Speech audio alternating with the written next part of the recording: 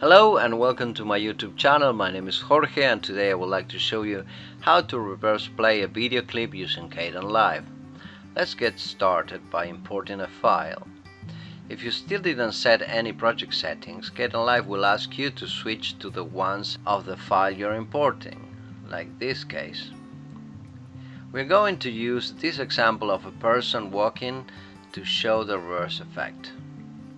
If you right click on the file you will get several options. One of the first options is clip jobs. In the following window choose duplicate clip with speed change.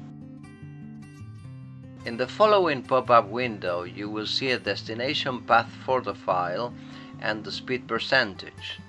In previous versions of Kdenlive there was a roll down menu at the right of the percentage with the reverse option.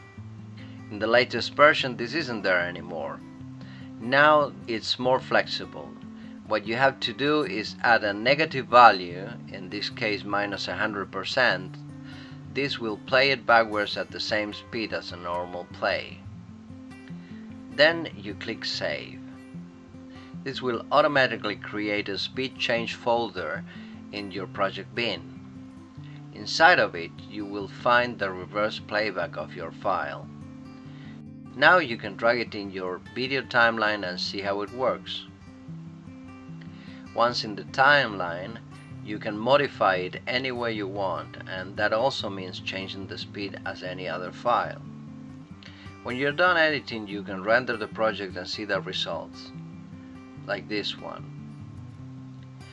Well that's it for today, I hope this clip has been helpful and if you like more of these ones please leave me a message in the comment section. Thanks for watching.